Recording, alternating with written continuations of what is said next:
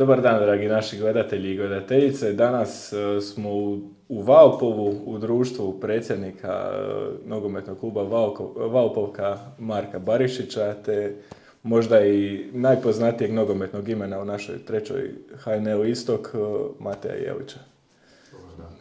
Dobar dan. Dobar dan. I sportski pozdrav. E, Evo malo u opuštenijoj atmosferi smo nego u proteklih par podcasta. Prva dva su bila, ajmo reći, općenito nekako o samom radu sportava i o nogometnim karijerama. Danas ćemo se više bazirati na, na neku tematsku cjelinu, a to je treća HNL Istok. E, gospodine Marko, vi ste predsjednik nogometnog kluba Valpovka. Kako je stanje nakon prve polusezone? Pa dobro to je ono što smo planirali. Mi smo se zacrtali prije ove polusezone da moramo biti među prvih osam ekipa. Smatrali smo da to nije neki prevelik izazov za imena koja imamo u slačionici, da je to ono najmanje što oni mogu isporučiti nama. I evo, zadnje kolo, bila je turbulentna sezona, ali zadnje kolo smo ostvarili to što smo ostvarili, ako smo vjerojatno i otišli kao veliki outsideri u Đakovo koje je već proslavilo taj naslov prvaka. Dogodilo se igrom slučaju da njima bio užasno loš dan, nama je izrazito dobar. Pokazali smo određenu kvalitetu i na kraju smo tu polusezonu priveli kraju onako kako smo zamišljali, međutim bilo je, kažem, dosta velikih turbulencija, pogotovo tu jednu sred- sredinu ove polusezone, tih nekih pet utakmica, to je taman trećina, gdje smo ostvarili jako loših rezultata. Spoli smo, mislim, tri, četiri poraza u četiri ili pet utakmica, nemojte me držati za riječ. To nas je kao upravu alarmiralo i mislim da su igrači shvatili da, da se moraju trnuti. Na kraju smo evo, završili tamo gdje smo i planirali. To je objektivno Valpokino mjesto od sredine prema gore. Mi to mi težimo, cilj nam je biti jedan stabilan trećeligaš i mislim da možemo nakon dugo vremena ući u mirniju polusezonu, ne borimo se za prvaka, naravno ako budemo prvi nećemo to odbiti ili eh, se prepustiti nekim eh, drugim radnjama, ali uh, raduje me što se konačno u trećoj ligi ne borimo za ostanak, a to nam je to nam se pokazalo kao jedno breme kad smo ušli prvi put u treću ligu, ne znam ste pratili Valpovku, to je greška uprave, mi smo još mladi, e, tek smo počeli se baviti ovim sportskim djelatnostima, ušli smo nespremni u treću ligu, nismo znali, nismo bili svjesni njene kvalitete i na- ona je bila možda i jača nego sada i onda smo ispali, evo srećom i, i e, mogu reći znanjem uprave igrača, uspjeli smo se odmah sljedeće godine vratiti što je jako, jako teško. Ako pravite nogomet općenito sport, znate kako je to izazovno i ne planiram uskoro napustiti ovu ligu. Prije nego što Mate tebi postavimo pitanje, kako imate u klubu u Svačionici tako jedno renomirano nogometno ime? Pa Ne samo u Hrvatskoj, nego i na međunarodnoj sceni. Da, e, to imponira i meni kao predsjedniku, mojoj upravi, vjerojatno i suigračima koji dijele s tim slačionicama. Mate, ja znam dugo, mi smo i zajedno igrali u Belišću. On je već tada u tim omladinskim kategorijama pokazao da će u odnosu na nas koji smo bili prosječni igrači, koji znamo se da ćemo završiti po nekim e, lokalnim ligama, on je već tada pokazivao kao kadet i junior da je to igrač za puno, puno e, više i on je imao ozbiljne minute u Beliću već tada, tako da smo mi bili i onda smo već znali e, što imamo u slačionici, a pogotovo sad u Valpu, kada smo ga nakon neke njegove karijere uspjeli dovesti ovdje da prenese neko znanje i nama kao upravi i igračima da ukaže na neke njihove možda i nedostatke. E, Ponosni smo, radosni smo, nadamo se će trati što duže i veliko je blago imati igrača tog renomea, što zbog njegovog znanja, što zbog njegovog autoriteta, ne samo na, na zelenom terenu, nego i slačionici. Drugačije se gledaju, drugačije se gledaju i protivnici i suci, to je neminovno, eto. Sretni smo. Iako su ti pregovori trebali, znači sad no šest mjeseci smo ga nagovarali, imao je ponuda, hoće, neće, pa obeća, pa ne može, pa ovako, pa onako, ali evo, na našu eh, radost uspjeli smo se dogovoriti s njim i sad e, zajedno kujemo planove za budućnost i preuzeo je naše omladinske kategorije, odnosno jednu kategoriju dobio, krenuo je te neke trenerske vode, i tako da vidim, e, i mislim da se on dugoročno e, vidi u Valpovci, što nas raduje. Mate, što ti kažeš na to? E, sve je predsjednik rekao. Meni je evo, drago i čast mi što igram za Valpovku, iako sam bio 13 godina profesionalni nogometaš, sad sam se krenuo toj nekoj drugoj priči. Tu sam doma, to me i najviše privuklo, privuklo me predsjednikov iskren odnos, znam kako stvari funkcioniraju. E, vratio sam se tu, eto, e, vidim se u tim nekim trenerskim vodama, dobio sam priliku voditi odličnu generaciju starih pionira i sve to onda sam dobro ovoga spojio i evo, član sam Valpovke i nadam se da će tako i ostati. Kroz karijeru, nakon Beovića što je predsjednik spomenuo, otišli ste u Dinamo, pa... Pa da, tu je krenio moj, moja ta neka karijera. Napravio sam transfer iz Belišća u Dinamo i onda sam išao s tom nekom stepenicom prema gore. Išlo je jako dobro i, i zadovoljan sam svojom karijerom. Uvijek može bolje, naravno, može i gore, ali ja sam sve u svemu zadovoljan. Nakon Dinama bio je, ako se Lokomotiva, Rudeš, Lučko i onda je bio inozemni transfer. Da, tu je bila lokomotiva, onda malo sam se malo gubio po Hrvatskoj, Rudeš, Lučko, to je bila druga liga. I onda sam dobio priliku otići u, u- u Žilinu na probu. Tamo sam zadovoljio e, i prva godina nije baš bila tako bajna i borili smo se, ajmo reći, za opstanak, završili smo, ja mislim, sedmi. To je bilo za tako velik klub katastrofa. Bilo je isto upitno da li ću ostati, da li neću, trener je stao iza mene. Dobio sam novi ugovor na godinu dana i onda sam eksplodirao i zabio se i golova i kasnije napravio transfer u Rapid i, i onda je to išlo. 800 tisuća eura, je to... Mislim da je bilo i više zato što je to ovoga netočna informacija na transfer marktu, išlo je to i preko milijun, išlo je u dvije rate. Kako se osjećate kao igrač od milijun eura? Zaboravio sam, ne znam sada ovoga. Osjećao sam se u to vrijeme presretno, ne znam, ono, ispunio sam taj neki dječački san, ono, postao sam taj profesionalni nogometaš, tako u veliki klub doći, kao što je Rapid, to mi je bilo, ono, jednostavno nisam danima spavao, noćima i, evo, Kako je Rapid tada stajao? Pa bili smo drugi, onda smo završili u ligi, igrali smo, igrali smo Europsku ligu, prošli smo i prve godine i druge godine i a, uvijek smo završili drugi jer je Salzburg tu bio baš dominantan i tak nismo uspjeli s njima nikako jer oni su ipak ono jači, jači su, imaju više i novaca i svega, ali što se tiče kluba Rapid je daleko, daleko najveći klub, klub u Austriji, 32 puta su bili prvaci, ali u zadnje vrijeme, evo sad nekih 10-12 godina, Salzburg je tu baš dominantan i ne možemo niko A prići. Dobro, to je kapital Red Bulla i vjerovatno i to sve nosi. Pa je, da, novac čini svoje i to je tako. A, europski nogomet, kakav je osjećaj to igrati? Pa, osjećaj je bio predivan, znači kad smo igrali protiv takvih klubova kao što su Villarreal, Valencia, Atletic Bilbao, to je jednostavno kad doživiš, igraš pred 50.000 ljudi, kad dođeš, jednostavno osjećaj fantastičan i usp- uspomena mi ostaje za cijeli život. Je da nismo baš nešto prolazili dobro protiv njih, čak smo Villarreal smo pobjedili, ali od ovih smo gubili, jer jednostavno od Valencije je baš završilo neslavno, prva utakmica 6-0 na Mestalji i onda su došli kao drugu utakmicu uzvrat, kao malo su izmiješali i sastav ovoga, pa smo mislili kao da imamo neke veće šanse, pa smo 0-4 samo izgubili.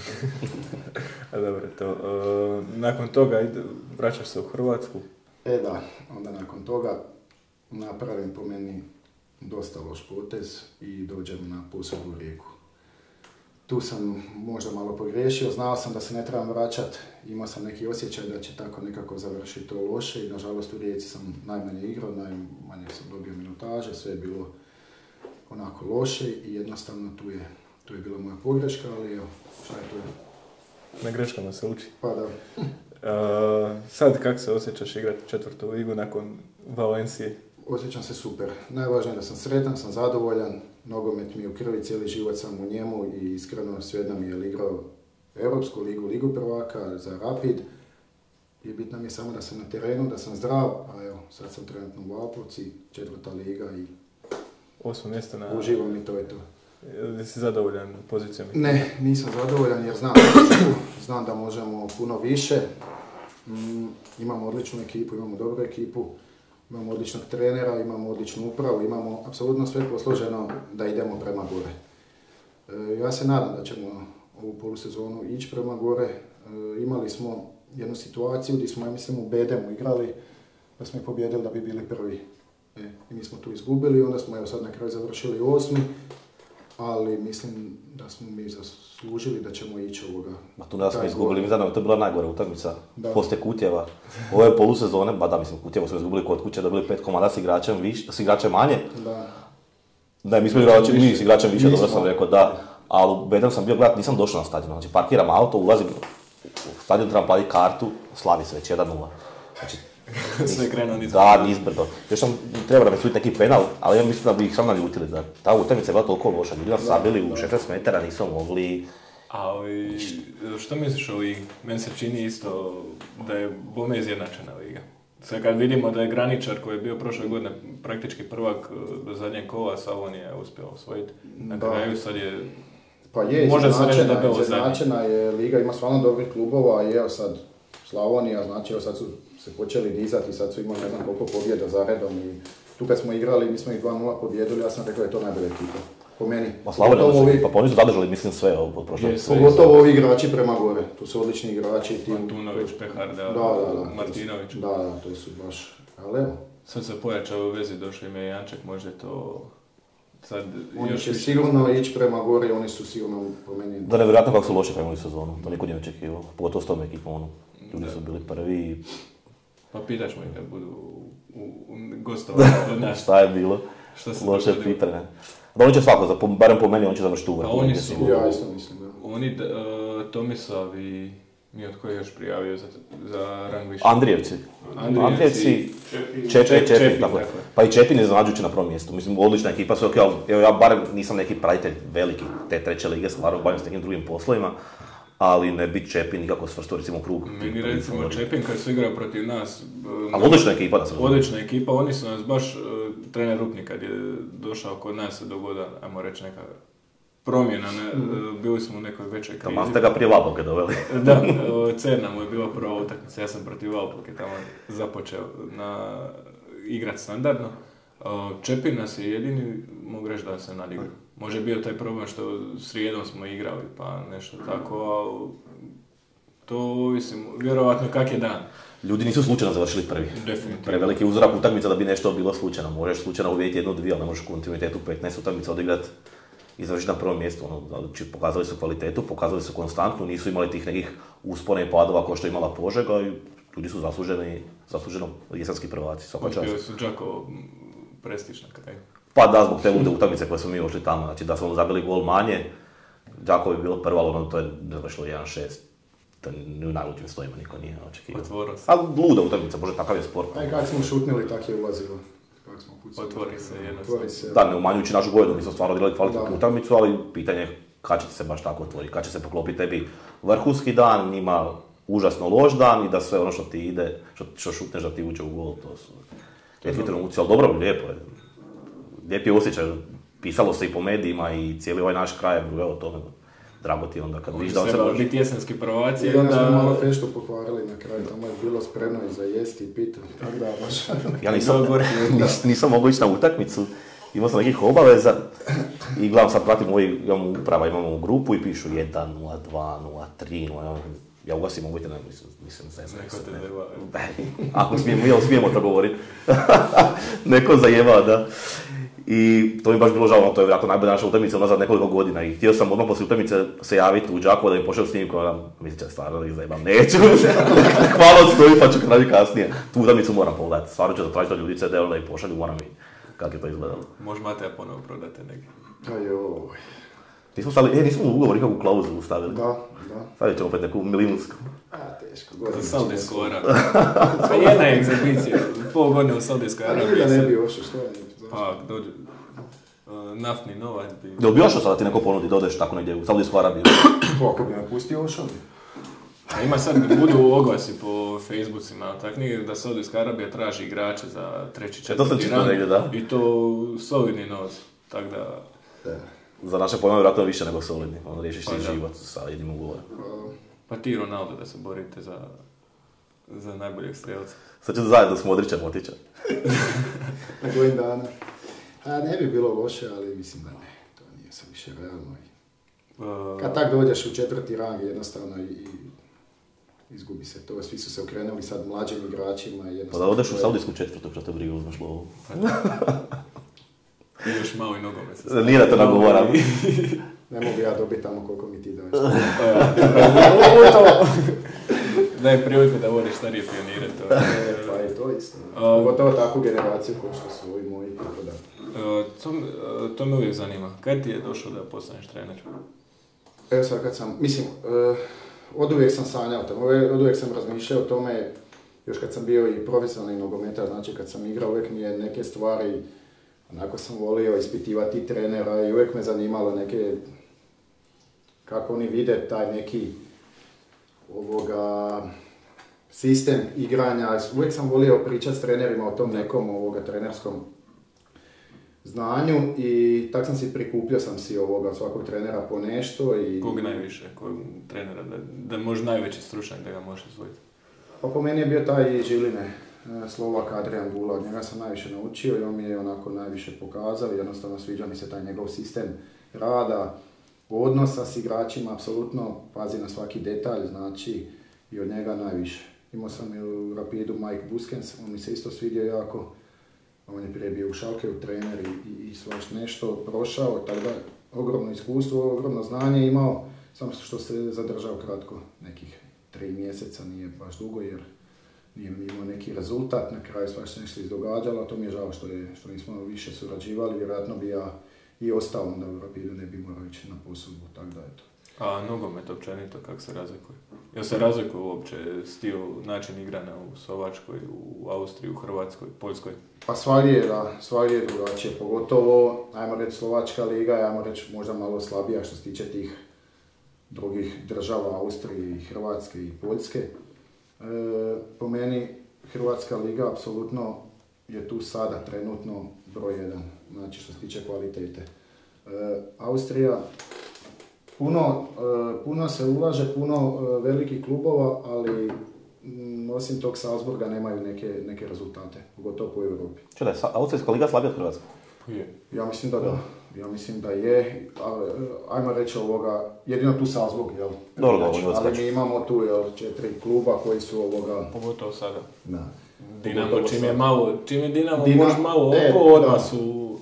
Ali ovoga, Dinamo prednjači, tako da je po meni ono liga jača. Dok Poljaci isto se muče, oni isto imaju jedan, dva kluba, a ovo ostalo je sve, znači imaš Legiv, imaš, imaš e, Leh i ovo ostalo je sve ono bez nekog velikog iskoraka u Europi. što sam ti opet, koliko klubova bude u ligi, koliko je bilo? E, u Poljskoj kad sam bio je bilo 18. U Slovačkoj je bilo 10 ili 12, ne znam sad točno. A u Austriji je bilo isto tako 12, ja mislim. Da. Mm, sad me, zanima me kako e, dogoda se ta reforma u HNS-u, da se uveo treća jedinstvena liga, kako to gledate? Pa ja sam odmah kad sam čuo za tu treću ligu jedinstvenu, bio sam protiv tog. Ne mislim da je to loše kao ideja, mislim da je to neprovedivo imati u Hrvatskoj, znači to je doslovno tri profesionalne lige. Ja ne znam kako neko može raditi igrati jedinstvenu tu treću ligu. Ne, to je, da, to je treća, treća da, jedinstvena, zove se druga. Druga je, jel? Da. Ko, pa mislim, ideš na put u petak, vjerojatno, ako ideš negdje dolje na more, dolaziš u nedjelju na večer. Iz Poče ideš. Ideš tako, da, mislim, ko te može pustiti svaki drugi petak negdje na putovanja, ako si u radnom odnosu. I sad ima tri profesionalne lige, meni je malo iluzorno pitanje i to su ogromni troškovi. Ta liga je skuplja nego ovaj iznad, jer ima više klubova. Da da trebaš platiti autobus i spavanje. I sad taj HNS je preuzeo, sad ne znam točno koje određene troškove, ali vjerojatno plaća službene osobe i ne znam što još preuzeo. HNS i to sad ide do neke granice, ali koliko ja pratim tu ligu, vidim da su već neki klubovi financijski predpucani, da ne mogu svi to podnijeti. Još kad HNS bude ukinuo tu neku svoju pomoć, pitanje je koliko će biti zainteresiranih klubova u Republici Hrvatskoj igrati u treće, treću jedinstvenu. Znaš što je, mislim da se to možda malo isforsirao nakon tih uspjeha velikih na svjetskoj sceni. Da mislim, to je lijepo zamišljeno, sve to odlično, ali mi smo mala zemlja, malo tržište, općenito ima malo nogometaša, ima tri lige te jedinstvene. Lijepo zamišljeno kažem, ali mislim da, je, da će teško opstati kroz neki određeni uh, niz godina. Mislim da će se opet morati ići u neku reformu. Daj Bože da griješim, da stvarno mi to možemo podnijeti. Ja bih prvi priznao da sam pogriješio i da mi stvarno kroz tu neku treću razvijemo mlade igrače koji će danas sutra nastupiti u prvoj, možda biti reprezentativci, ali vidjet ćemo. Razgovarali smo prošli, e, nedavno sa trenerom Rupnikom. On kaže da je u četvrtoj ligi naše, njemu smeta kao treneru kad igrači rade. Kak... A, a to je nemoguće. Mislim, koliko god je sad taj nogomet, nama koji vodimo klubove, nama je to sve preskupo. I skupa je oprema, i skupi su suci, skupe su reže, skupi su autobusi, skupi, su igrači. to je najveća stavka, Bože, u jednom nogometnom klubu, nama je sve skupa, ali opet to nisu iznosi od kojih neko može živjeti. To, je, to su iznosi koji, to je doslovno čeparac u današnje vrijeme. To je da uzdigneš nekog da ne preživljava, nek da živi. E, doslovno tako. reći da- Ako uz posao ima još tu neku, neka lijepa primanja u nogometu, to mu je neki hobi, onda on sebi može neki kućni svoj budžet složiti da, što ti kažeš, da ne preživljava, nego da ono lagodno živi, ali sada u ovoj ligi nekog tjera da ostavi posao zbog, eh, zbog nogometa, mislim da je budalaština. To, mislim da je budalaština, to je neizvedivo. Ne? Znači, ja ne znam koji klub u ovoj ligi, možda griješim, može platiti igrača toliko ili ga prijaviti, mu ugovor da ne mora raditi nego baš samo da živi od nogometa i da kroz to gradi karijeru. Ja vjerujem da je trener upnik profesionalac, on traži maksimalnu posvećenost sportu, meni je to sve jasno. Pitanje je koliko se u ovoj ligi to može tražiti od ljudi. A i tu temu smo pokrenuli u zadnjem razgovoru djece, koliko sve manje se igra. I vidimo da imamo i u četvrtim, petim, čak i šestim rangovima imamo stranaca. Koje, što ti kažeš na to? Pa ne, ja pojma, ne znam što bi rekao na to. Uh, opće, barem ja kroz Valpovu kad to gledam, mi imamo jako puno djece i stvarno ne, ne primjećujemo da broj djece opada, ona konstantno raste. Mi smo krenuli stvarno prije jedno 7 godina, klub je bio pred gašenjem, imali smo tu jednog trenera koji je praktički imao nekakav privatnu školu. Uglavnom on je jedini bio u, sustavu kluba koji imao djecu i on je skupljao, ne znam, 30, 40, 50 djece i s njima je radio, osim tog nije bilo ničeg. I mi sad iz godine u godine radimo sve bolje i bolje s djecom, stvarno imamo sad jednu respektabilnu školu nogometa što je cilj da izbacujemo iz nje sebi igrače, ali mi ne možemo kupovati. Neće svaki dan doći Mate Jelić u, u Valpovku, trebamo im proizvoditi svoju djecu. I ima ih stvarno sve više i više. Mi smo sad na brojci gotovo 200 registriranih klinaca. Ali imamo problem, uh, tamo negdje u onim godinama kadetskim i juniorskim. Pubertet Jo- krene udarati. još kadeti ok, oni odrade taj staž, ali juniore, mi sad nemamo juniore, slagat ćemo ih uh, za iduću sezonu, to bi moglo, to bi moglo uspjeti, da ih konačno nakon par godina imamo, ali imali smo, evo kad smo zadnji put imali te juniore, situaciju da nam je jedna cijela generacija juniora, znači deset prijatelja se odlučilo ne baviti više nogometom. Zasite se. Možda su ljudi bili- Sa 17 godina se zasite. Da, možda su bili ljuti na klub što nisu dobili dobre prilike ovdje. Tu je sad 500 varijabli i to najbolje oni znaju zašto su prestali, ali je simptomatično da njih, ja mislim, 10 prestali igrati nogomet. I Jesu niko- općenito prestao igrati nogomet ili su otišao u neki drugi klub? U tom trenutku više niko nije igrao. Nijedan drugi, nijedan drugi klub nisu ni izabrali. Zasite se 17. Prestali su igrati nogomet.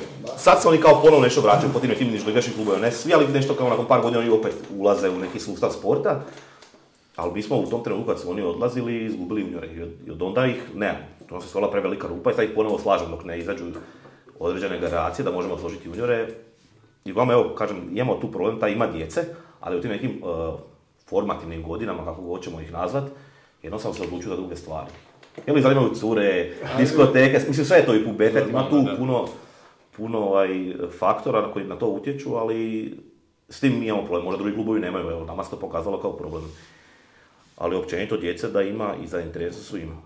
Koliko god sad ljudi, uprosti što te prekidam, uh, koliko god sad ljudi misle da se možda djeca danas i manje bave sportom, možda to i je istina, jer su zauzeta prijateljstvima preko mobitela, kompjutera, više su zatvorene u kuću, ne izlaze van.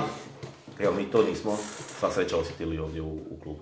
Mate, je te sa 17 da odustaneš? Ma, nikad, nikako. Onda si, te, onda si počeo igrati seniorski nogomet za Belišća, tako u prvoj U biti sam igrao sa 16 već, sredinski, jel? Tamo onda da se prebacio, uspio se doći u seniore nije, 17. to- 18. I onda počeo shvaćati šta je nogomet i, i šta je to sve, ovoga, kako odustajanje, to je bilo samo što više treninga, što više da, kad si osjetio da, bi, da se nešto počelo može. događati, da se može, samo rad, rad, rad i evo, to je jedini Jedini Put. Da. O, kren, uvatili smo se prve lige, mož, možemo malo prokomentirati to. Vama najbliži prvoligaš Osijek. Odmah, ne znam da smijem umjetno reći. E, ovako, e, što se tiče Osijeka, sam najbliži, oprosti. e, moje mišljenje je, ali realno to su profesionalni sustavi u kojima ja nemam iskustva i možda je blesavo i pričat o tom, imaju najbolju infrastrukturu u državi. Znači, ovo Opus Arena, nedavno Da, sam bio tamo. a novo je, mislim, lijepo, što god je novo, odlično. I ugodno ti je doći sjesti i kad ti iz bilo kuve, kuta, tribine vidiš teren kao na pladnju, su, to je super. Mi to nismo imali u državi i naravno da nam je lijepo, a ovo nam je 20 minuta od Valpova. I ulažu ozbiljna sredstva, ali moje mišljenje je da ne vode dobru sportsku politiku. Mislim da su s tim sredstvima koja su izdvojili za taj neki igrači kadar, mogli su napraviti puno, puno više, mogli su biti konkurentniji. Ja sad ne sjećam, možda vi bolje pratite tu prvu ligu našu, bio je Bijelica, ne znam ni kako je on radio, niti kakvi su onda bili igrači, međutim, koliko sam pratio, on je bio jedini donekle konkurentan u jednom dijelu prvenstva, recimo Dinamo ili to nekom borbi za vrh. Ovo sad ostalo je četvrto mjesto, a onako, ne- nedorečeni su mi. Možda takva sportska politika, možda se oni zadovoljavaju četvrtim mjestom, ja ne znam. Ali mislim da bi mogli s tim sredstvima uh, puno veći iskorak napraviti. Možda hoće. Možda ne mislim dobro. Evo, to je Mladeš ti.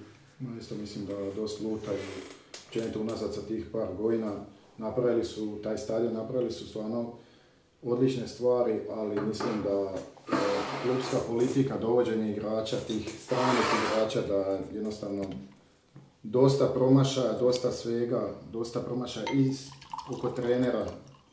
Nemam, nisam baš ovoga oduševljen njima kako rade. E, slažem se sa predsjednikom, oni po meni četvrto mjesto to je to je ovoga, za njih, za takav sad klub, jako malo oni moraju težiti prema, prema prvom mjestu, prema borbi za naslov, oni su kilometrima daleko od toga i ne znam ovoga kako će se to u budućnosti odviti, ali za sad to ne ide dobro. Bota. Što mislite o Boti, te ovom dovođenju njega na mjesto sportskog direktora?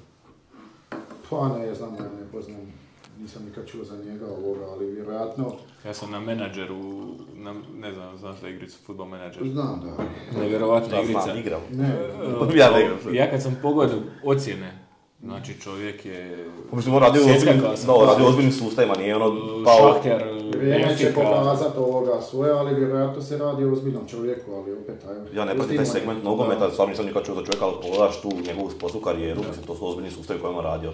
Ne radio, on je napravio rezultate da je nalazio igrače, ono, koji su danas u top, ne znam, 20-30 igrača na svijetu, ko on u određenom sustavu pronašao. A ona izjava što je rekao, da kao da ako nemate za Louis Vuitton što je rekao, za Chanel imate za, u Zaru. Ne znam, nisam, nisam to pratio. Je, ja sam vidio tu izjavu, da, i slažem se s tim, to je, Da. to je dobro rekao i A to bi čak moglo, možda u nekom danjem, on bi izvukao, našao bi mladog igrača u Valpo, u Kutjevu, Bubam, u nekom... A šta je rekao, nisam, nisam. A, rekao je kao, ako ne možeš kupiti Louis Vuitton torbu, neku isto marku, zadovoljiš se u Zari koja je isto lijepa marka. znači, Znači, možeš kvalitetno naći u Da. Zariju. Pa ima smisla, pa pogledaj samo ovaj prijelazni rok rijeka što je napravila.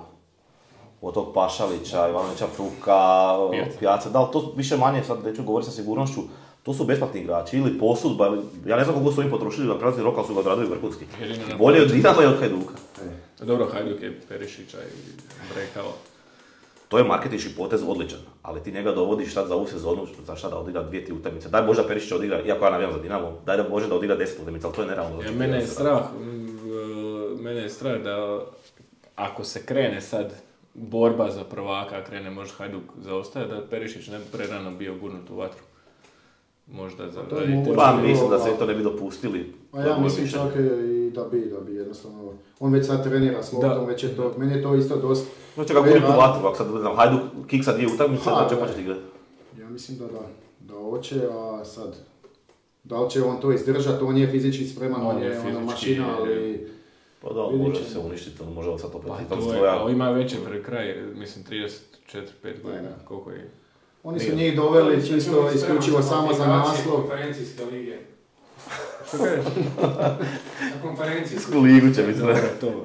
Ovaj, sad kad smo HNL, prokomentirali smo Osijek, e, Rijeka, Dinamo, Hajduk. Pa ja, ja bih od Rijeke, od, napravio bi usporedbu sa Osijekom. Po meni, znači sve kontra, ovo što Osijek ne radi dobro, to Rijeka radi dobro. Znači dovođenje tih mladih igrača, e, talentiranih, jeftinih i onda sad dođe kvalitetan trener kao što je Sopić, ovoga, onda on to posloži, onda to funkcionira, onda to ima rezultata i sad ta cijena se igračima diže. Znaš ko mi još dobro radi u HNL-u, prošle da prekidam? Lokomotiva. Da. Pa njima svake godine ovdje pet igrača i to Dobro, stoženi. Juri uvijek nešto izmisle i tu su vrhu ste. Izbace zato što vjerovatno ovi dečki koji su u Dinamu na korak do, taman... e, Pa rade jako dobro sa omladinskim pogonom, znači oni imaju stvarno tu djecu odličnu i evo sad ne znam, u prvoj ekipi ti imaš Klince od 20. Da, oni su 18, mlada- Samo mlada 5-6 ekipa, u prvom sastavu, znači jednostavno, a imaju i rezultat, znači da su klinci kvalitetni. Pa i nose. To... Mislim, oni igraju dva plus Dinamom, ali Dinamo tu nije ništa Pa da. pokazao više puno na terenu nego oni, oni baš su opasni. Iznenadilo me ovo kad su od Rijeke izgubili, sad je li to njima bio ložan ili je Rijeka stvarno toliko odskočila ove polusezone pa je baš tako kvalitetna, ne znam, ono 4-0 je baš bio Nisam očekivao to, nakon ono dvije utakmice s Dinamom dobro rekao, ovo im je sad ono impuls Pa da da, malo je bolje. rezultat, ono 4-0, Malo sam se iznenadio. da, ali je- A otvori meni je se. Rijeka dobra i otvori se. Ali lijep nogomet. Trenutno Pjaca možda i najbolji igrač. Majstor i bio je i šteta samo tih ozljeda njegovih. Meni je on isto bio jako drag kad je igrao Dinamu i mislim sad da je napravio Kad je u vrhunsku Juve karijeru, otišao, kad je taman taj iskorak da napravi, onda ga ozljede krene jesti. Njemu je jedna ozljeda krenula koljena, pa onda druga i onda je tu Dvije- dvije Na Europskom. neki mišić pukne pa uvijek nešto, uvijek je Da, vjerovatno ranije krene, ovo ono hoće se dokazati još i- šteta, ali takav vrhunski igrač. Ono. Ali ja drago što se vraća i stvarno i bit će i za reprezentaciju. Sad će u Dinamo, tako. Pa ja se nadam da hoće. Znači, Tamo mu je mjesto. Vidjet ćemo. Onda Sve samo prokomentirali smo se Rijeku, sad ćemo u Dinamo Hajduku malo. E, sad bi se tu moglo svašta reći. To ti, pošto si igrao Dinamo, ti pričaj. Pa iskreno e, nisam zadovoljan ovo što, što se radi, ovo je... Prosti sad što prekidam uh, sa Betisom ovu utakmicu zgodu. Jesam gledao sam, odigrali su odlično, odigrali, su super. Vidit ćemo sad u četvrtak, ja se nadam prolasku. E, Betisu je falilo nekih igrača bitnih sad kad se vrati. Možda su oni malo i zapustili tu. Pa možda su malo to i pocijenili, možda su to gledali drugačije, ali protiv Dinama to ne smiješ jer Dinamo je, ima već ime i u Europi i, i svaš nešto. Znači, po meni, ja mislim da će to Dinamo odraditi dobro i da će proći.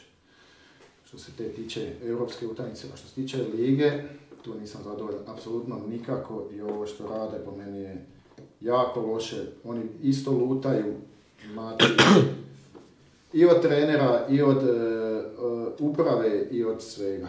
Znači, jedina pozitivna priča oko tog Dinama su Dinamo i navijači. Drugo ostalo za sad ne funkcionira. Pa slažem se s njim u većini uh, stvari što je rekao. Bojite ste navijači Dinama ili? Da, ja jesam. I to strasno. Jesam, da. I zato će vjerojatno biti subjektivno što se tiče Betisa, isto mi će Dinamo proći. Biće to teška utakmica, mislim to je sad floskula, bit će teška utakmica, teška je protiv bila. Naravno, da. I izradili su me koeficijenti na kladionici, sad ne znam ko to prati. Ono, Moj brat, brat. E, ali evo, mislim da će Dinamo odigrati još jednu kvalitetnu utakmicu, da će proći. Imaju dobru tu zalihu iz, e, iz Sevilje. Pun stadion, nije dugo bio pun i mislim da će Dinamo stvari dobar rezultat. Idemo i gledati u četvrtak. Zato nismo mogli imati podcast u četvrtak, nego smo ga morali odraditi ranije. Mio. Mio nije htio imati podcast isto. Ni Marko nije htio.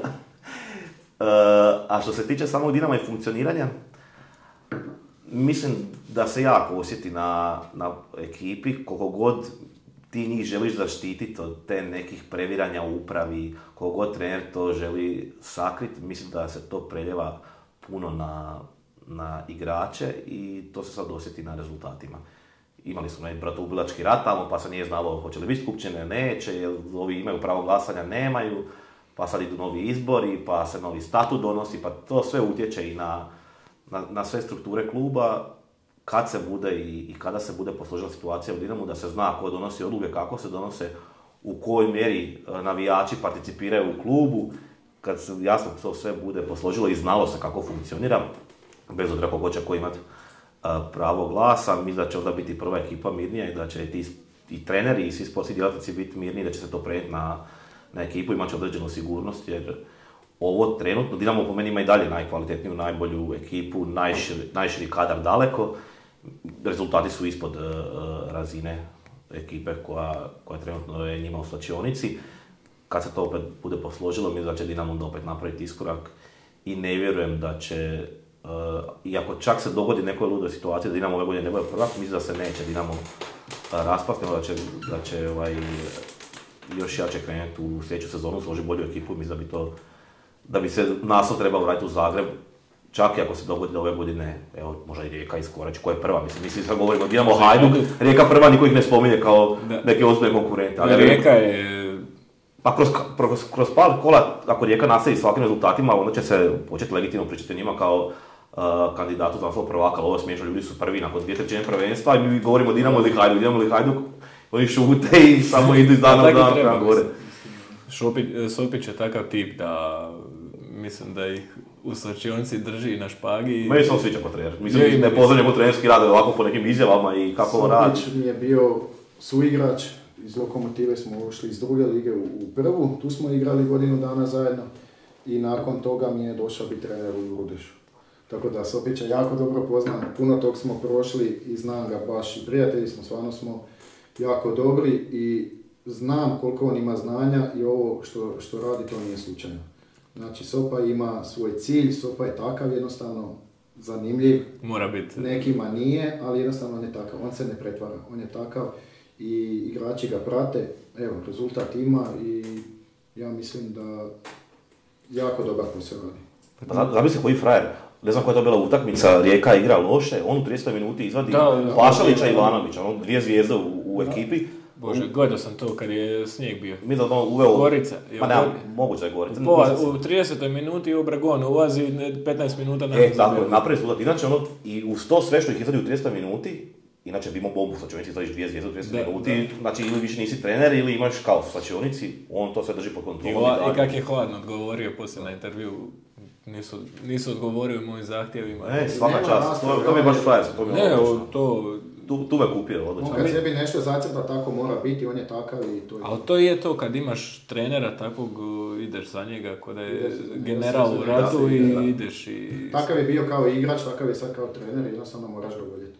Nema druge. A ga ne voliš, nisu u ekipi. Mi- Mislim, nisi taj jednostavno za taj sustav što on želi. Jednostavno, on ima svoje i njegova je zadnja i... i A to je jako tog što ima trenera. znanja, osim što ima taj, tu karizmu i što ima ta- takav stav i to sve, čovjek ima znanje. To je ono.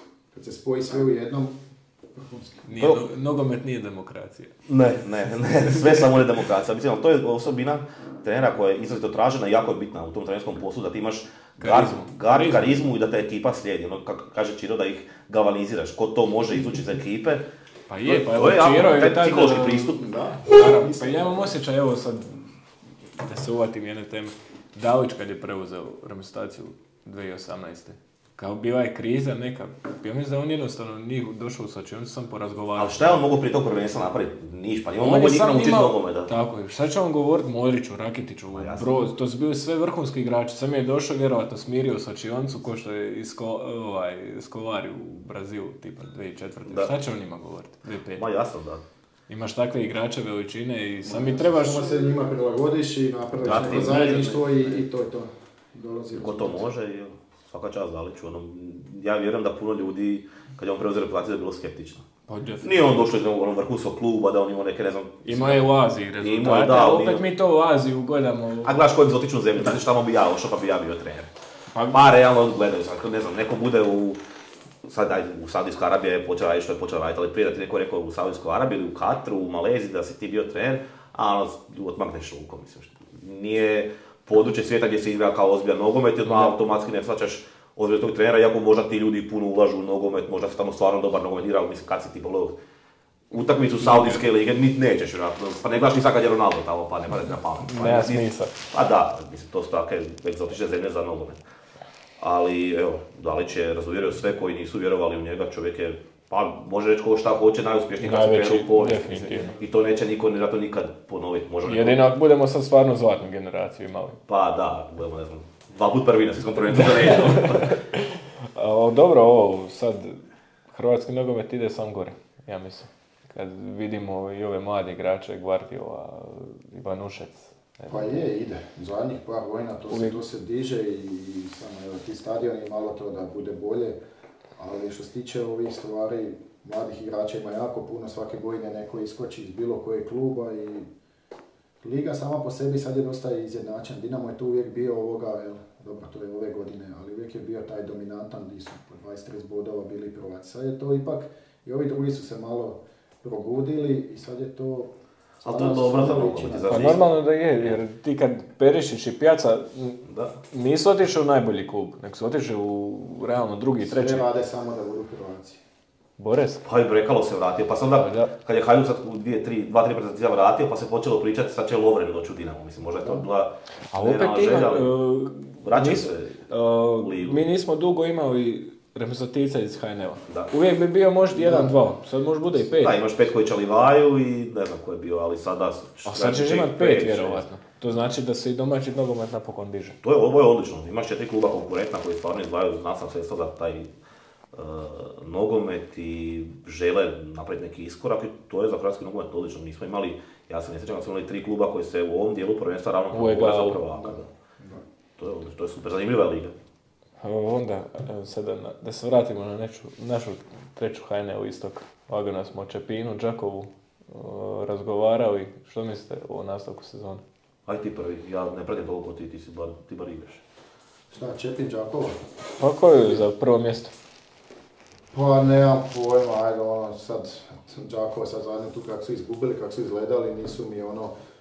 Po meni je Čepin, onako su najorganiziraniji, čvrsti su, dobri su, tvrdi su, igraju na rezultat. Tu ne znam kad smo igrali protiv njih, 1-1 je bio, oni su crveni dobili, oni su se borili, znači ko da to je to, je to, jednostavno nisi mogao probiti. Ja sam prečko pogodio u 90. minuti, ono, ali jednostavno izgledaju kao ekipa, imaju i, i trenera, kakav je bio igrač, takav je sad i kao trener i on je to prenio na njih i to je borba s njima. Tako da mislim da su oni tu onako stvarno ovoga nekako po meni Ma ne bi rekao da će Valpo biti prva, to ne. Pa, ako, Dobro, po- e, osam bodova ako ih stignemo, onda da. Šta je osam? ali- Osam bodova nije puno. Pa nije, mislim, gle, treba biti e, realan. e, Mi smo jako dobri, imamo super ekipu, ali ovoga, osam bodova ipak nije nedostižno, ali jednostavno, evo idemo drugo kolo i kod njih i vidit ćemo nakon tog. Ako se tu potučemo, ako tu uzmemo nešto, onda možemo pričati. O nečemu za Valpoku, da bi mogla biti u vrhu. Ja mislim da će biti, ja mislim da ćemo mi se sigurno dići, e sad da li ćemo uspjeti doći do tog, treba vidjeti, tog cilja nekog. Što vi kažete? Bar Inter Toto. Ja bih rekao Valpo kad Đakovo ali neću, neću nastaviti u prvi plan. Vi bolje djelujemo, pritisak već sad. bolje djelujemo isti kako Ja ja. kažem da će Kutjevo biti. bolje da... Kutje hoće biti prvo. Ne prvo, a bar, bar u Europsku ligu da Evo ja ću dati blagu prednost Čakovu. Mislim da oni već dugo godina traže neki iskorak. E, koliko ja imam informacija, oni bi htjeli igrati u, u višu ligu, to je velik grad, ima odličnu infrastrukturu. Tamo da što pitat. e, Savo, Požega i Đakovo, i Našice čak. Dobro? Stvarno najveći gradovi, a opet su u rangu sa Valpovom, sa Čepi, e, sa nekim manjim mjestima, ajmo reći. A to je e, nezahvalno je govorit što je sad Đakovo u gradu, ne znam, 25-30 tisuća stanovnika i igra sa Valpom ligu. Jer pitanje je koliko tu lokalna samouprava stoji iza kluba, koliko oni izdvajaju sredstava. Ja sad, osim Valpog, ne znam za njog koliko troši, koliko ko ima podršku lokalne samouprave, e, koliko privatnici daju s tog područja, ne znam uopće način financiranja. Znate sve u sportu da se danas odvija oko financijskih sredstava. Koliko ti raspolažeš sa, sa novcima, toliko tu i možeš i privući neke kvalitete i to vuče jedno s drugim. Zašto Đakovo nije do sad napravilo iskoraka, planiralo je, ne znam. Ali ako im je to već, ne znam, 3-4 godine koliko ja pratim cilj, ja vjerujem da bi mogli ove godine napraviti iskorak. Evo, tu su blizu, imaju odmah prvo kolo i taj derbi, ako ga riješe pozitivno u svoju korist, mislim da će ih neko teško zaustaviti. I pa evo, što se mene tiče, ja bih volio da ljudi ako imaju ambicije, neko odu u, u viši rang, to grad kao Đakovo zaslužuje i da bi oni to, ako lokalna samouprava stane iza njih, mogli financijski podnijeti. To je za... A to je sad i ono što sam spominjao i što sam spominjao i ta treća jedinstvena uh, financije i koliko će od HNS-a se dobivati sredstava i što sve ne. To će Da, ali e, po meni je logičnije da igra, ne znam, Đakovo tu ligu, nego da igra, ne znam, Valpoka ili Svačić. Ne pocijenjujući ni Valpoku ni Svačić, prvo stavljam sebe na to mjesto, uh, financiranje Valpoka vam je 90% uh, iz lokalne samouprave i mi ne možemo podnijeti taj financijski teret te, te lige i pitanje je koliko bi to uopće bilo dobro za Valpo, tu sad više ne bi mogli igrati ni dečki s našeg područja, a trenutno ova ekipa ima 80% igrača iz Valpova, prigradskih iz naselja, pa ne mogu ni strancima smatrati ljude iz uh, Beliša i prigradskih naselja, Bizovca, uh, ne znam, uh, Miholjca, to su sve nekako, barem meni, domaći igrači. Sad kad bi Valpoka iskoračila, kad bi imala financijska sredstva, kad bi otišla u ligu više, ti igrači više vjerojatno ne bi mogli podnijeti, ne svi, ne bi podnijeti te zahtjeve, jer nemamo mi 11 Mateja Jelića, može on igrati još njih, ne znam, pet. Morali bi imati igrače sa strane, pitanje je koliko mi možemo zagrabiti u ovom bazenu gdje su i Belišće, i Bijelo Brdo, i Jurjevac koji su financijski užasno moćni uh, uh, klubovi, barem za naš pojam. I onda bi morali igrači iz daljih mjesta dovoditi i sad pitanje je koliko to zanima ljude u Valpovu. Jel bi oni htjeli doći gledati Valpovo ploče gdje ne znaju dva igrača na terenu. A spomenu se načelnika, kao naš uh, iz Kutjeva gradonačelnik je igrao uh, iz... Matko? z- uh, da, a on je nogometaš. Je, cijeli život. I iako mi svi navijamo da on prestaje igrati nogomet, ne, da se čak ni žena nije uspjela zabraniti. Još u igra, igra u Marijančacima, Marijančaci igraju ovdje u, u, u ovom klubu.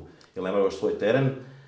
Sad je trener, trener igrač. Ma i trener je, Sve, i sve. sve, i ekonom, i igra, i gradonačelnik je, ima i svoj malogometni klub i to je, i u karateu je, sve on vam je ono, one man band. One man breaking. Da, i koje je bilo pitanje, oprosti? Pa koji Budimir, kak je u Kutjevu Da, igrač. da on nije zaljubljenik u sport, e, ne izgleda se ovdje samo za nogometni klub Valpova. Cijeli sport, recimo evo unazad 7 godina grad Valpovo je, mislim, povećao izdvajanja za sport jedno 4 ili 5 puta. Sad ako je, ne znam, 2017. je grad Valpovo odvajao e, 700 tisuća kuna, sad izdvaja gotovo 3 milijuna kuna za sport. Nemojte me držati sad u, u, u kunu za riječ, ali 4 ili 5 puta povećati u 6-7 godina izdvajanja za sport, to je jako puno i ne bi sport u gradu Valpovu živio tako dobro kao sad da on nije čovjek iz sporta kojem je Pa koji Joka, kako je u... Mislim, sad uh, je. stvarno toliko ljudi naprave puno i opet ljudi nisu zadovoljni. A Mislim, to... gledajte, njihov posao čelnika lokalne uprave je nezahvalan. Nikad vi ne možete zadovoljiti sve ljude na ovom području. I ako kažete uh, ovaj izgleda za sport, udruge kulturi su ljuta. Ako izgledamo udruge iz, iz kulture, bit će vatrogasci ljuti. Pa će onda, znaš, ne možeš jednostavno dati Dušmana svima. uvijek ima. Ma, mislim dušmana.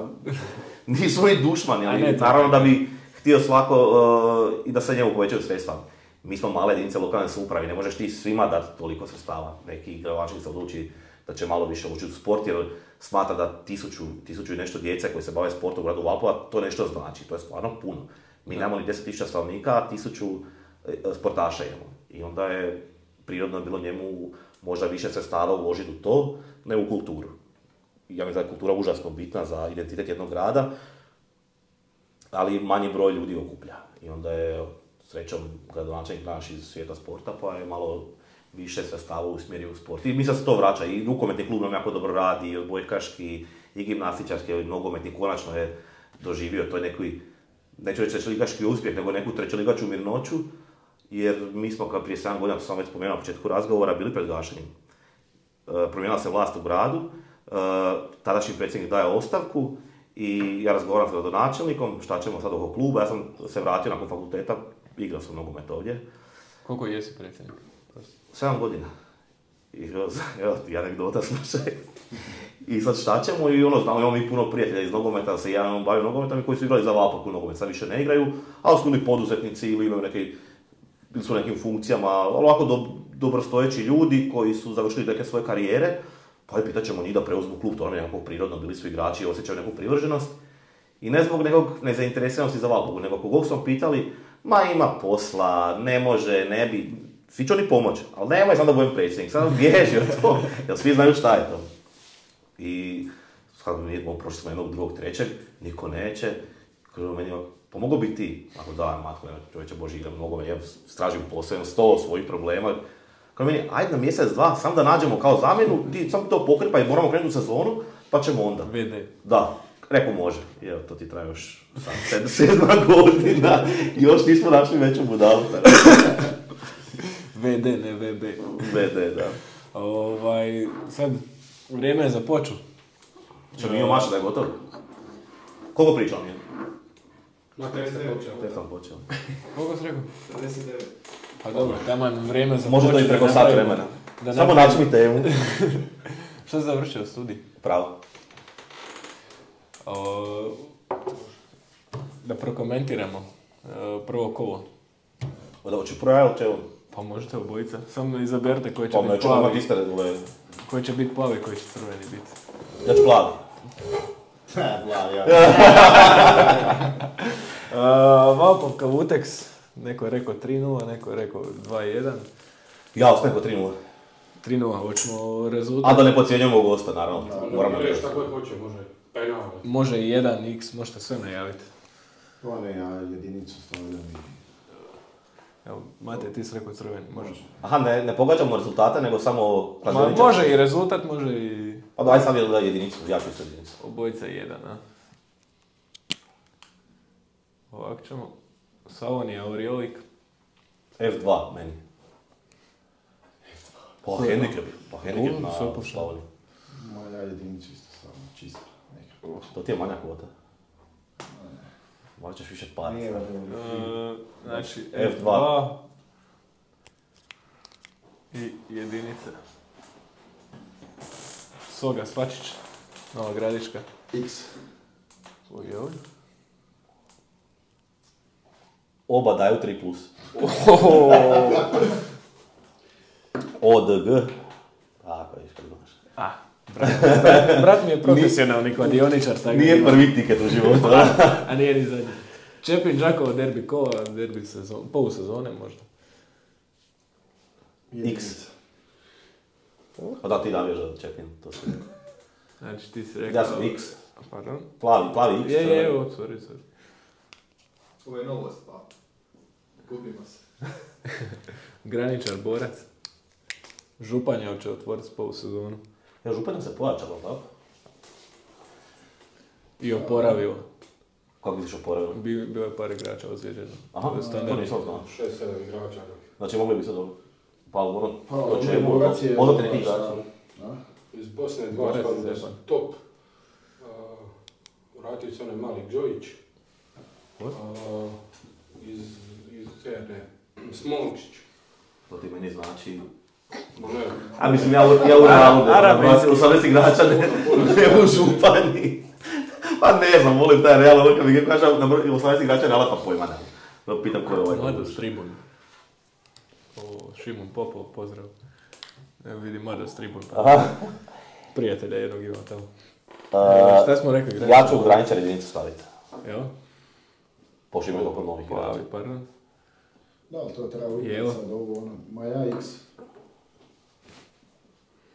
Tomislav Darda, Slavija. Evo, Donis, Donji Andrijevci. Donji Andrejević. U- Po jedinicu. Pa i ja jedinicu isto. Po ljudi prijavili Pa da. ligu više kako neće. Jedinca je ove dva. Ne, ne, jedinica. Dobro. E sad idemo. E sad, ne morate biti. Ovdje je dupli hendikep. Kako to, kako to piše? ono? Ne, ne, ne znam da odigrati u, u Supersportu. Imaš, ne znam, 0-2 jedinica, Da, tako? 0, tako. 2, 1, da. Misliš? Uvjeren sam, to sam ti rekao. O, pa. Znači, tri razlike moramo Da, tri razlike. Ja handicap normalni. 0-1. Onda ćemo to je to staviti. Može. Su mi favoriti u toj utakmici uopće. Pa ovdje smo. Ja, uh, Cerna, Beden. Cerna, Beden. Cerna dobra. Je. Kako su oni završili sad ovu polsezonu? Ispod nas. Ispod nas onda znaš koliko je sati. Ko je rekao da su dobri? Da svako ja ne stvarno ne znam tablicu, pojma nemam, znam tri Ja čekaj, se Cerna Beden, predzadnja. A? Cerna predzadnja, mi i Slavija treće Pa sa dvojku. 15. da. Ja mislio Moje da oni tu. To je derbi. Ma Bedem odlična ekipa. Bar ovo kad smo mi došli kod njih, onda su bili dobri. To je to. A što smo mi stavili Beden? Dvojku? Dvojku sve. Sad još, Ma, ma X. X, a? Mijenjamo. Mijenjamo, evo. sad još će dati sve... podvuci crtu, stavi kvote i reći da mogu da izvadimo iz džepa. Tu, tu X, da.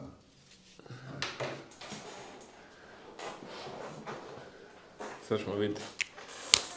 Gosti baš ne može nešto. Ima šanse. Što nismo jednu dvojku stavili? Jedna dvojka, da. Ne, ja sam na Bedem stavio. Jesi, je, pardon. Jedna dvojka. Pa domaćinska liga. Ko bosanska. Znači da kad djevici zabrane da igraš više od dva para, kad uljeva imaju baš povjerenje. Može. Može. Može, naravno. Sad još. Imaš još koju temu? Pa ne znam. Kolege, vi imate još nešto što htjeli čuti da raspravimo. Pa ne sve se rekao, što sam ja htio čuti. Ovo što se tiče Dinama, ovo ostalo. Tebi sam Dinamo zabija, ni Slavija te više ne zanima. Ha, dobro. E, Kakvi su vaši planovi za dalje? Recite nam nešto o sebi. o sebi, Predstavite se. e, ja kao ja ili... Ne, kao, i možete i vi kao vi, odnosno ti kao ti i mi, ajde nam daj molim te još jednu kolu. I sportalo. Imate Sportalo, evo, novi kao- format, podcast ide, čitani se. ste više, nemate Trudimo samo čitatelje nego i gledatelje. Trudimo se. To mrtvo. Evo sad, e, došlo je do rekonstrukcije u vodstvu. Da, čuli više da. nije voditelj, e, to jest e, nije više šef, sad je, Sad je Josip. sad je šljaker. Evo, ako- ja sam Renato, ako se nisam ni predstavio, Da, moraš predstaviti. Kutjeva, povjesničar po struci, e, tako da mi je novinarstvo onak, može Blisko. se reći blisko. Imamo tu našeg Marka, vez, vezni igrač koji je za grafički dizajn Ušinješki. tata mata. Tako da evo, sad idemo. Ovako ćemo ići po svim klubovima. Cilj je da se ovako razgovara svugdje, da se otvara tema, da se popularizira sport. Po meni baš jedna dobra ideja, uh, ne postoji podcast za ovako neke Da, lokalne sredine, da, da, da. lokalne sportove, da bi to uh, moglo biti jako gledano, ne samo u ovoj, recimo, igračima, trenerima, djelatnicima treće HNL, možda i nekoj široj niže, okolici, a da. iznad. Tako je, da. Biće zanimljivo pogledat što ljudi imaju za reći, kako tko radi. Sad ovaj prvi pr- krug kad budete prošli, morat će ljudi malo biti u nekoj tremi. Pa, ja sam prvi u, te, u tremi bio. Pa no, Znači, što je normalno, može prvi put sudjeluješ u nekom podcastu, ajde sad već imaš 20 za sebe, na Da, pa prvi sam već iskusan. Kameru. Ali svaki, sljedeći, svaki sljedeći će biti sve zanimljiviji. Da, Ti da. ćeš lakše razgovarati sa, uh, sa ljudima koji ti dođu ovdje, ovdje neće doći u Valku, kad budete imali svoj studio, vaš studio. Ali i onda će se oni s vremenom, kad budu, ne znam, drugi, treći put već nastupili, onda će se malo i oni opustiti, bit će, uh, tečni će biti razgovor. pa evo, prošli put je bio i trener Rupnik i... Dobro je profesionalac, je dao. Pa je, ali smo mi sat i 45 minuta, sam smo se raspričali i to ode. Uopće nemaš osjećaj o vremenu. A zato je podcast i zanimljiv, zanimljiv format, jer nije intervju. Ti meni postaviš pitanje, ja verglam svoje, ti šutiš pa mi pitaš drugo pitanje, nego ono konverzacija je opušteno. Pa to je, sam da imamo temu neku za razgovor i pričat ćemo. da. Dobra stvar, sviđa mi se. Imate podršku. Mi od sutra ide praviti reportaže, znači kod klubova malo bila najava kola, kak treniraju. Sad idem, nije. Hoćeš sad Pavel Mrak? A upa ću ne. Pa imamo rasvjetu, ne vidiš. E, Imamo ćemo Pa pali telefon. Da, da. Da, da, pa. Ne, sa svjetiljkama na glavama. Aj Matej, za kraj jedna anegdota. Naj, onak, najupečatljivija sportska priča. e, a, morate ga za kraj pitat, on je, nije spomenuo da igraju za Črnkovci i za Marijance, morate ga pitat koji mu je draži klub. Marijanci sad? Ali nisi igrao u Marijance? Su Marijance. Za više u Marijance više nikad smije doći. I tak ne ide. Ne znam. Ja, gdje je ono, gdje je ono pitanje što ste meni rekli da ćete postaviti nešto kao provokativno? Prije, pa prije... Ma, to je već prošlo. To sve će govorio. Ne? Kako uspijevate To je- financirati ovakvog igrača, to Da. mislite? 10 metara drva, imamo veze u šumariji. I zadovoljio se s Pisao tim. mi je malo zemlje tu, malo, malo svaš nešto. Licenca za trenera Ma, i... dobro. Pa to tak ide. mislim. Svega pomalo je. Biće sljedeće godine još više. Možda i 12 metara drva bude. Plaća ne kasni, hvala Bogu. 12 metara drva Ovaj tako? i dva prasca, ha? Ovaj tjedan ide. Biće, biće. To mi je naj, Biće, naj, rekao najbolja rečenica koju sam naučio kad sam postao predsjednik. Kako te rekao još jednom, biće. Kak je ovo iz Metkovića? Rekao. Jambo, bit će. A ne baš s tog tiče, recimo, aj tih e, nagrada što isplaćujemo igračima, e, trudimo se biti redovni.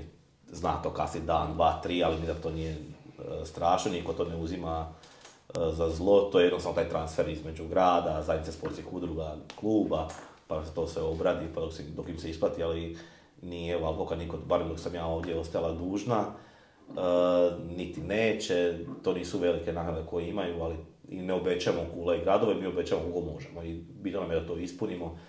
Lako mi možemo nekom obećati, ne znam, neke nerealne cifre. 20 metara. Pa mogu ti ja Uvijek se obećati. može obećati, a sad. I na taj neki pošten način smo njega uspjeli dovesti. On je bio realan, znao je već gdje dolazi, da je to Valpo, da je to četvrta liga i da mi imamo određeni e, proračun s kojim možemo raspolagati, tih, van tih gabarita ne možemo ići. Na sreću uklopio se u to, dio pregovora on je bio da preuzme i djecu i to je napravio i ćemo za tu licencu kad bude išao na nju. E, situacija, ono kako bi rekli, win-win na obostranu korist i Pa mislim čak osobno da je to najbolja solucija da se odmah u trenerske neke vode Pa da. se baci tak igrač neki koji možda i za veći rang, a gleda e, u budućnost. Ako budeš htio biti predsjednik, možeš mi reći slobodno. Predsjednik ne bih, hvala, to ćeš ti biti, za par godina ako mogu biti trener prve ekipe. Ne znam kako će ti ovaj sadašnji, sadašnji reagirat na ovo što si Kreće ga bušta.